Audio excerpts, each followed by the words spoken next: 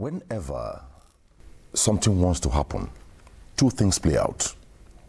Either you're anxious, anxiety, you're depressed, frustrated.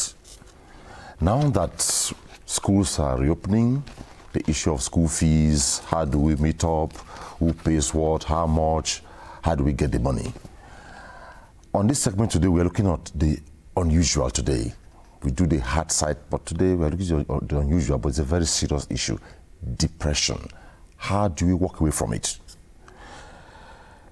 This is the simplest story of the depression mode on ongoing in several lives. This is literature. They wonder how things begin with just an unpleasant mode and before too long become an experience of low energy, emotional downturn, mood disorders, low excitements, altering actions and coloring the mind with unpleasant, pulsating thoughts and feelings of failure, hate, disappointment, and inadequacies. Vice versa, a boss, a head of department, a line staff leaves home depressed. You can imagine what happens in the office that day. If it is the boss, everything turns upside down. If it's the line staff, no matter the directives you give, nothing works. Even depression can affect the result in public governance. The boss gets to office excited, and at the day ends, he gets depressed. Across board, what happens at home? Depression, how do you walk away from it? My guests, Foyeke Ayongade, Mrs. Behavioral Therapist. Good to have you on Insight.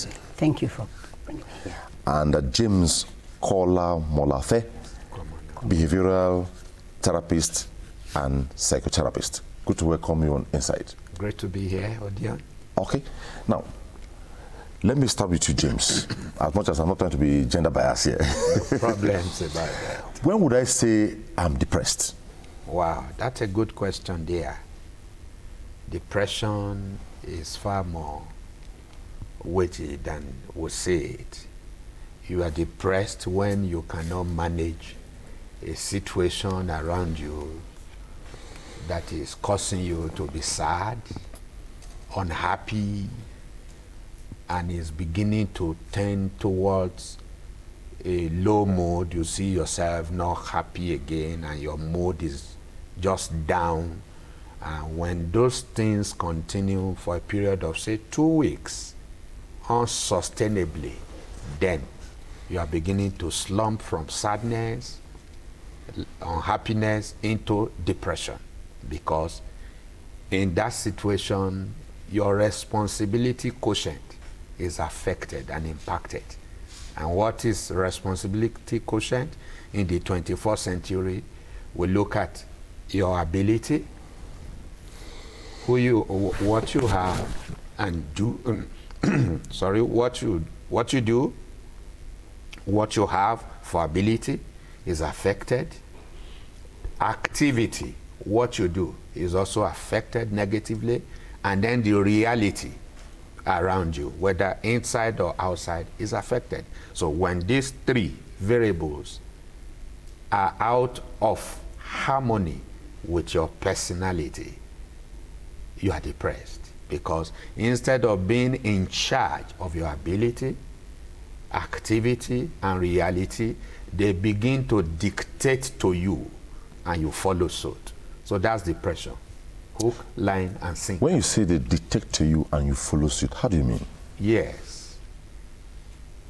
As free moral agents, human beings, you are in charge of every circumstance and situation, at least within you and around you. So when you begin to lose coordination of those issues, that are around you. Every day we face the good, the bad, and the ugly in our daily vibration, in all we do, the way we feel, the way we think, and all of that. So you cannot prevent a bird flying across your head. But when the bird begins to nest on your head, then you can prevent that. So when you are you find yourself in such a situation where you are no longer in charge of your thoughts. And your thoughts are beginning to take hold of you hook, line, and sinker without you being able to control what filters through and what filters out, then you are depressed because you become zombied to your imaginations, to your feelings, to what is going on in your mind helplessly. And if care is not taken, you can begin to have a sense of worthlessness. You can begin to feel as if you are hopeless. You can begin to misinterpret issues and events around you. That's depression at work. Okay. In the context of code of conduct and ethics in the public service, when I, what I mean is the civil service cutting across all the divide, can depression affect work output? Yes, it can. Because I remember that um, most civil servants are human beings too. All civil servants are human beings. And uh, if you are, you are depressed and uh, you come to the office, the code of ethics is that you should be disciplined, you should be loyal, you should be truthful to From the boss right from, down. from the boss right to the Down. down from the boss right to the la, no, the, the lower strata of the civil service if you come in depressed even when your boss if you are at the lower strata we ask you to go and do something you begin to your conduct begins to affect your output. And you are no you will no longer be as you know zealous to do your work as you're supposed to do it. Your passion even diminishes. your passion you know, depreciates. And you begin to to look at everything around you as if everything is working against me. Why should i even help hmm. people? That's why when you come to the civil service and you enter an office sometimes you just find out that you have met if you have met with a depressed clerk that's at the front desk even you asking a question you will know that something is actually wrong with this person. Mm. Because he will not give you he will not he will, he will not attend to you the way he's supposed to attend to you. Before you know it from there he, because you have come in you want to to avail yourself of the opportunity of that place. Immediately that clerk receives you in a very uh, uh, uh, uh, on, on, on, on, on, Pleasant way. unpleasant way, you will begin to wonder what is, what is eating you up. Do you understand? And meanwhile, you have had, maybe you, have, you just want to see the boss. Mm. By the time you enter, he has already given you a bad Impression. impression about the office. Mm. So when you enter there, you will not give a good, you will will not have a good impression of that office. And if the boss that you want to see, you will always know that I want to tell this man something mm. about that man outside, isn't it? And before you know it, from there, the, the, the, the boss can call the boy, and he, he- he or she, the, the, the officer can begin to, to mess up the whole, you know, uh, essence of the place. There's a clinical effect. And before you know it, everything. it begins to, from the secretary to, the, yeah, it, it becomes a bad egg. Okay. Depression is So how actually do we transferable. how do we surmount this? I, I believe that if the Federal Civil Service can begin to introduce, we do skill enhancement, we do uh, workshops and seminars, Leave out depression and leave and out depression and all, all those so things pertinent to our that, lives. to our lives. You know, apart from the public service rules that we read, There are so many most of us read it to pass not- because you want to be promoted. That are not involved. But you are, eh, we- the culture is not being inculcated in us. You are just doing it for the sake of promotion. Okay. Actually, Let me some get your of- thoughts. Actually, some of those curriculums should be tilted towards the reality on ground. For example, every civil servant or any man you meet anywhere eh, in the This is all about the civil service. What about all the, the private civil- sector? The private sec- yes, sector, it every happens. man everywhere is either in definition the good. When the mood is good, the circumstances are okay, Okay, everything yes. he is in his good self. So there are issues we need to pull out from that uh, specimen. And then every man also could tilt towards the bad. That is the violation. So most times And it's not necessarily that uh, we don't we don't have we don't have capacity to deliver in public office, but maybe at a particular Your time, at the nick of time, the mood determines Yes. what happens. Yes. Okay, now th- this literature is called depression, recognizing the stages and walking away from it, Yes. which we have used to encapsulate on the title of the issue. And as much as time will allow, we have here depression and the marriage of confidence Yes. the manifestation and stages of depression, mm-hmm, mm-hmm. So how right. to attain freedom from depression, Yes. how to achieve solution to depression, Yeah. how depression lobbies its victims, mm.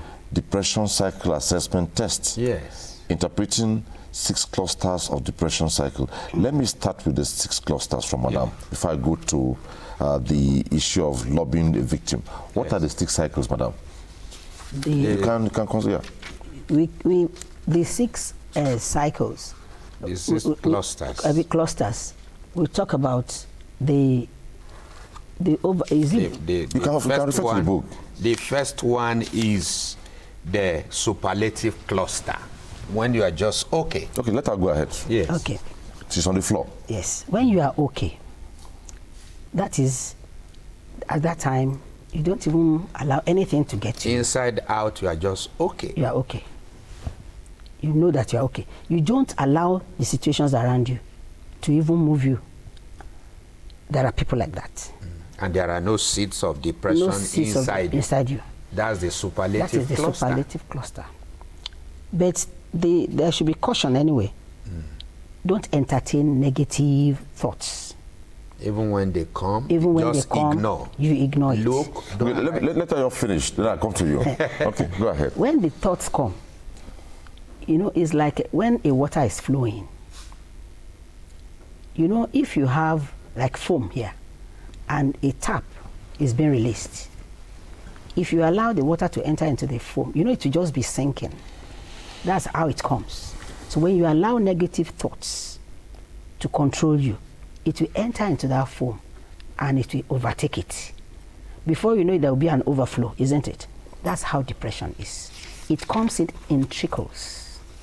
And before you know it, it, it, it will take you over. But the receptive cluster, that's the second cluster of depression management outcome.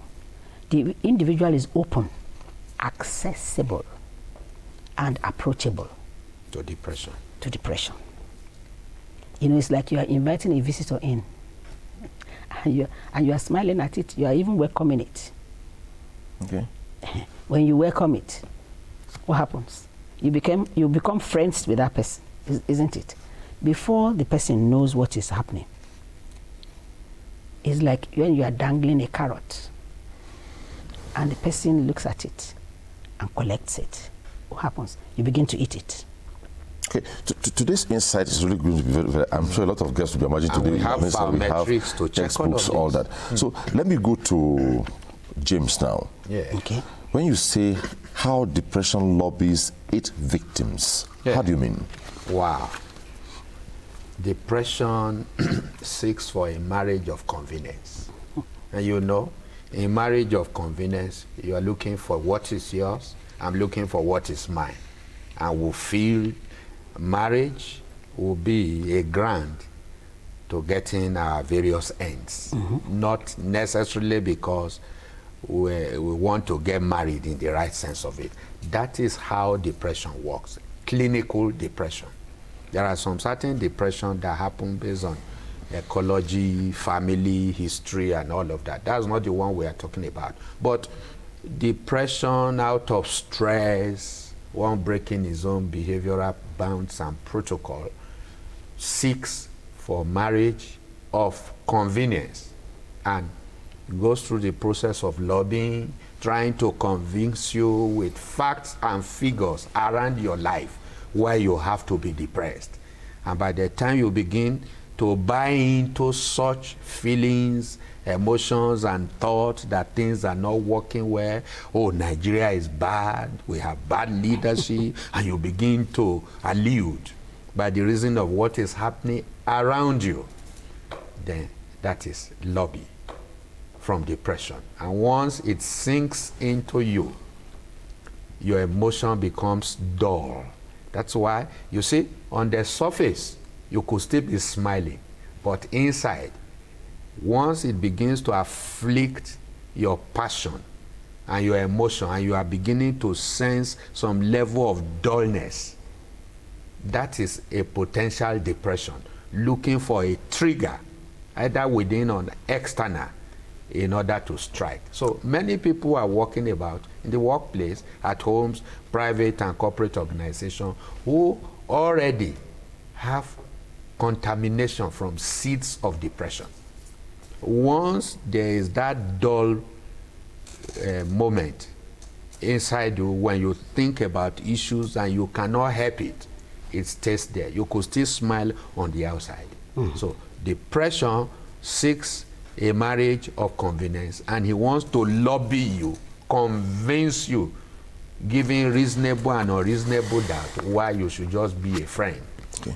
That's why the level of permission determines the degree of culpability yes. or vulnerability. Mm. Okay, let me Permit come for, it, it let me, comes to you. Let me come to Foyeke now.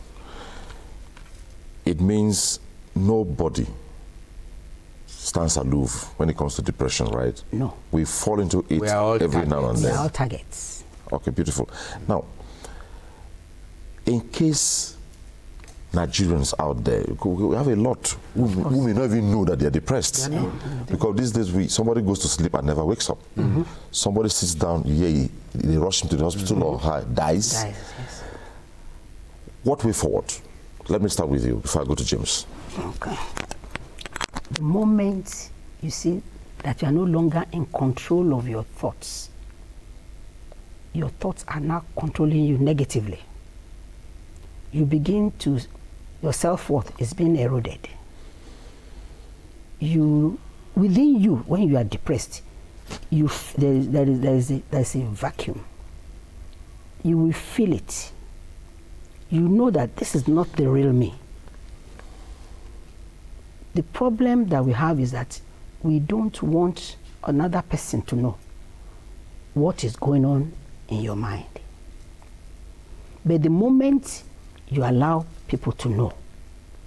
They will come to your aid, especially if you, you, you know, is, uh, behavioral therapist is, you know, is a new wave. Yeah. And if you are able to know, that's why we are coming on air, so that people will know that there's a place called Saba Resources. It won't take you anything. Just avail yourself we to the opportunity services that you can come out of it. What we are saying is that the rate at which people are committing suicide these days is becoming much. too much. So the people, students, children, parents, no matter your age, you can fall into depression anytime. But the best bet is for you to get a therapist. Okay. A professional. Let me go to James now what kind of services do you render? Are you a team or you're separated? Let me know now. We are from the School of Articulation and Behavioral Alignment Resources, also known as SABA Resources, which is a hub for the virile health, full expression for optimal productivity. So we check incidences of violation to personal lives. We look at depression, and how to walk away from it, just as we're here now. And we show the society, the organized private sector and the public sector that say, hey, don't wait until the chips are mm down. Let's go preventive. That's why in the SABA resources, we also create some level up assessment test that will, that will spot on, pull you out from where you are to where you are supposed to be we correct incidences. Do you render services to institutions like the yes. NTA, maybe In fact, we are, we're in various companies, organizations, uh, public sector, and we're even domiciling some of these competencies there so that if the federal government can look at this and see the merit. Have you done one with the NTA before? No, we haven't secured an entrance except now, so that we can domicile it in all HR across Nigeria and solve our problems with an African initiative. This is an initiative given to the whole world that now you can now classify and cluster depression and know the various stages before they strike. And then with our simple therapies and assessment, preventive, we can help you pull out from whatever stage. And you see, depression begins from overdue, stage one, and terminate lives at overthrow. And that's why overdue, overthrow. Overthrow. Everything is over, over, over, over, over. So the higher you go in those stages, the deeper into the valley of depression. So what you're trying to say now is if I overdo, if you overdo, before I get to overthrow, you would have brought me down. It will have brought you down. You are closer, exactly. and that's why a little trigger nowadays. You hear of relationship uh, lapses, and then just frustration or salary not coming on time, and you wonder why will he commit suicide? The stages are already ongoing on the inside. So how can you be reached? Uh, James Kom at yahoo.com. But you're available, right? Yes, we're available. James Komolafe. Okay. Just Google out James Komolafe. Okay. We've so very so last words to Madam, we don't have all the time. Okay. What last word do you have for Nigerians over depression? Just a few words. Over depression, I want them to know that the negatives are developed in the dark room. Hmm. So also are your negative thoughts being developed if you don't take appropriate step, just as positive thought can take you to the skyscraper, so also can negative thought sink a whole lot of ship that is overloaded. Okay. So don't allow it. Go out there and seek for help. Okay. Last word? Yes a veritable competency there for Nigeria and Africa. When you reach us, we'll send you this for free so that you can learn how to master and marshal out your thoughts, your feelings, and emotion. Don't wait until depression strikes before you know what to do. And we're appealing to the federal government. Let's solve our problems using what we have. This book, we're ready to send it if you request for it, depression, recognizing the stages and walking away, away from, from it. it. The SABA resources is out for you to treat incidences of depression from the non-drug approaches. Let's get our curricula reorganized. Thank you so much. Let's include depression. I can be sure that uh, even if we have four hours, we'll not be done with this. yes. Well, like I said, as much as time could allow, maybe we'll have cause to invite you again to talk more because Definitely depression is endless. Mm, well, Foyeke Ayongade, Mrs. To start having you on Insight. Thank you. And uh, James Komolafe. Thank you so much. Thank you so much. To be here. Thank you. Well, depression is everybody's, nobody's an exception. And from what they have said, it cues you into a good day or a bad day. That's done on this segment of the program. Up next on Insight is the interview segment. Don't go away.